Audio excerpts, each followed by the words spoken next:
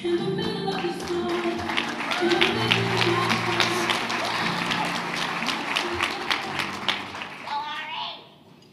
Imagine a world where you have to go to a new place, not knowing anyone, feeling afraid, alone, and out of place. A world you don't feel accepted or acknowledged.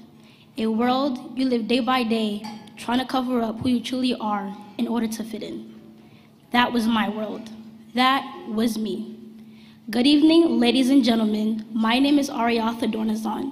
I am a junior at Atlantic High School, and I, I think you offers opportunity to share my story.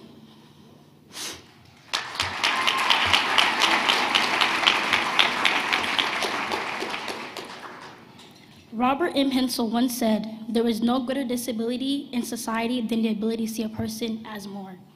Over 4 million kids in the US have at least one learning disability. I am a part of that statistic. Growing up, I struggled with a speech impediment known as stuttering. I often felt out of place and didn't want to share my learning disability. However, the Boys and Girls Club opened up my eyes and helped me realize that I have a purpose here and show that I belong here. This is how the Boys and Girls Club shaped my life. I owe it all to the Boys and Girls Club of Delray Beach for helping me become the person that I am today. The club has impacted me to become more orientated and helped me become a successful leader. At the Boys and Girls Club, there were two staff members who had the biggest influence in my life, Ms. Vanessa and Mr. Anthony.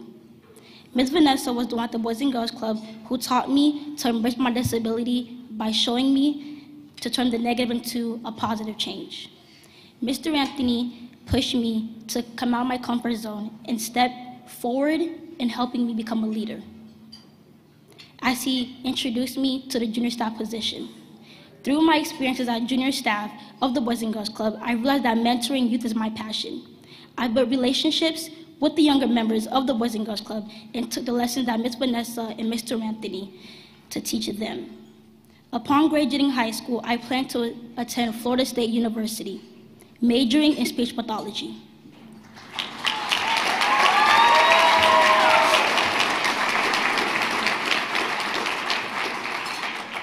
My ultimate goal is to become a speech pathologist, working with children in schools and giving them the next generation and platform to help them overcome the learning disabilities and gain the confidence that the Boys and Girls Club has given me.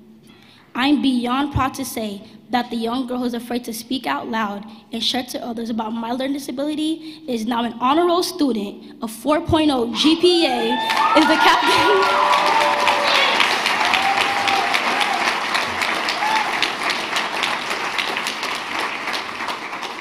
the captain of her cheer team and has won several scholarships and awards.